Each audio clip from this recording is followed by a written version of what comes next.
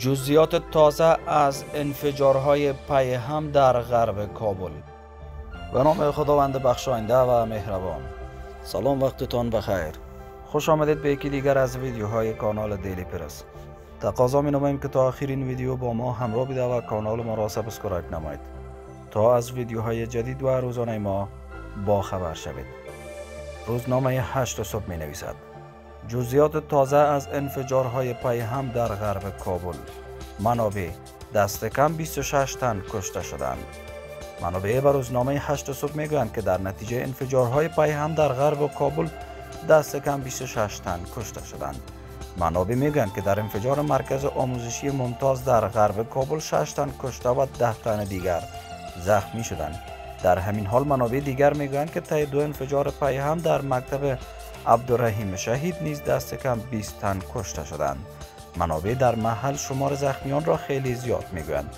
تا کنون گروه مسئولیت این انفجارها را بر عهده نگرفته است. گفته است که امبولانس ها از نیم ساعت به این سو در حال انتقال زخمیان هستند. آمریکا. واشنگتن و اسلام آباد برای افغانستان باثبات کار می کنند نت پرایس سخنگوی وزارت خارجه آمریکا گفته است که ایالات متحده آمریکا با پاکستان برای ایجاد یک افغانستان باثبات که به حقوق همه مردم در آن احترام گذاشته شود کار می کند. سخنگوی وزارت امور خارجه آمریکا روز دوشنبه 29 حمل گفته است که واشنگتن با اسلام آباد همکاری می کند تا افغانستان باثباتتر، امنتر و موفقتر ایجاد شود.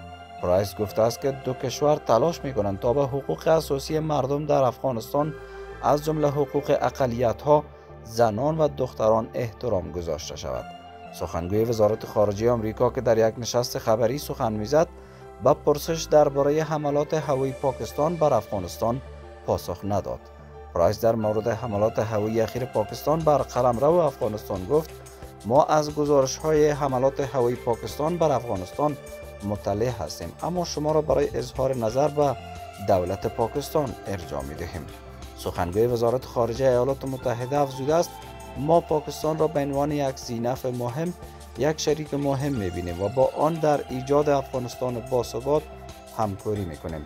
پرایس با تاکید بر روابط ایالات متحده با پاکستان گفته است که روابط دو کشور طی نزدیک به 75 سال گذشته حیاتی بوده است.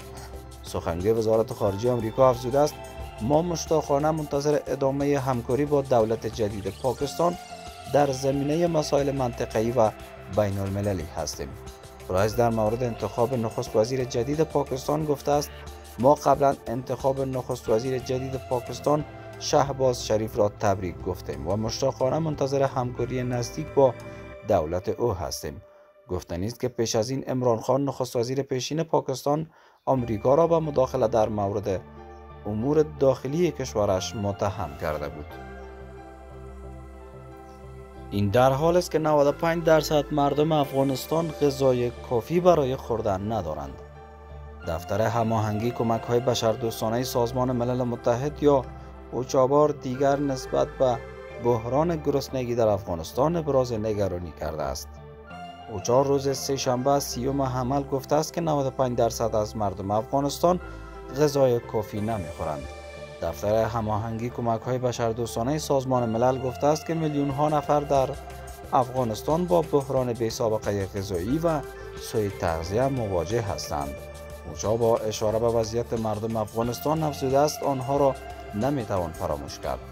این در حالی است که در پی به قدرت رسیدن طالبان فقر و گرسنگی در افغانستان به شدت افزایش یافته است. طوری که روز گذشته یک تن در شهر کابل و دلیل فقر و تنگ دستی خودش را در مقابل کودک چهار سالش آتش زد. افغانستان فرار مغزها و پیامدهای اقتصادیان. مهاجرت و جابجایی سرمایه انسانی از کشورهای رو به انکشاف به کشورهای توسعه یافته در سالهای اخیر نگرانی های زیاد جهانی را برانگیخته است سرمایه انسانی متخصص نقش بسیار مهمی در توسعه و رشد اقتصادی کشورهای صنعتی دارد و کشورهای توسعه یافته جهان همه پیشرفت های اقتصادی، سیاسی، انسانی و تکنولوژیکشان را مرهون نیروهای متخصص و فنی هستند. ملل در حال توسعه نیز جهت گذار از عقب ماندگی و رسیدن به مراحل از توسعه ناگزیر از تقبل هزینه در ایجاد سرمایه انسانی و توسعه دانش فنی به منظور شبهسازی تکنولوژی وارداتی تطبیق و ارتقای سطح ابزار فنی وارداتی و سایر اجزای تکنولوژی در جوامع خود هستند. بنابراین دولت ها سالانه منابع همگفت مالی را در راستای آموزش و پرورش متخصصان و تولید سرمایه انسانی هزینه می کنند با وجود این همه هزینه و مصارف در کشورهای رو به انکشاف فرار مغزها و انتقال بین المللی این افراد دغدغه‌ای است که اخیرا مورد توجه کشورها و سیاستگزاران قرار گرفته است. در حالی که طبق برخی مطالعات و تحلیل ها مهاجرت در دراز مدت با ارسال وجوه درآمدی از کشورهای مقصد و کشورهای مبدع نقش مهمی در رشد اقتصادی دارد. اما در این مقاله سعی شده است پهلوهای پنهان فرار مغزها را مورد بررسی قرار دهیم. بنابراین فرار مغزها به فرایند اطلاق می شود که در نتیجه آن افراد متخصص و نخبه یک کشور به خاطر مشکلات اقتصادی، سیاسی، علمی، فرهنگی، کمبود امکانات پژوهشی، رفاهی و ناتوانی جامعه در استفاده از تخصص و توان اطلاعاتی آنها برای کسب تجربه پیشرفت های علمی، امتیازات بهتر، منزلت، رفاه اجتماعی، آزادی فکری و دسترسی به منابع علمی جدیدتر به سوی جوامع مهاجرت می کنند که از نظر آنها از شرایط اجتماعی، اقتصادی، سیاسی، علمی و تکنولوژیک بهتری برخوردار باشند و بتوانند تخصص و توان علمی خود را در جامعه برای پیشرفت به کار گیرند. بر اساس آمارها بیشترین مهاجرت مغزها به کشورهای عضو سازمان همکاری های اقتصادی و توسعه صورت می گیرد. متاسفانه افغانستان نیز از جمله کشورهای رو به انکشاف است که همه ساله سرمایه انسانی یعنی نیروی کار جوان متخصص و مولد آن به کشورهای مختلف جهان مهاجرت می کنند و این روند در سالهای اخیر بنابر دلایل جنگ و بی‌ثباتی سیاسی اقتصادی اجتماعی و از دست رفتن فرصتها شکل سعودی را به خود گرفته است تنها در سال 2020 حدود 2.6 میلیون انسان از افغانستان به کشورهای مختلف جهان مهاجرت کردند. با تشکر که تا اخیر این ویدیو با ما همراه بودید. منتظر نظریات و پیشنهادات نیک شما هستیم. تا ویدیوهای دیگر خدا یار و نگهدارتان. اوقات خوش داشته باشید.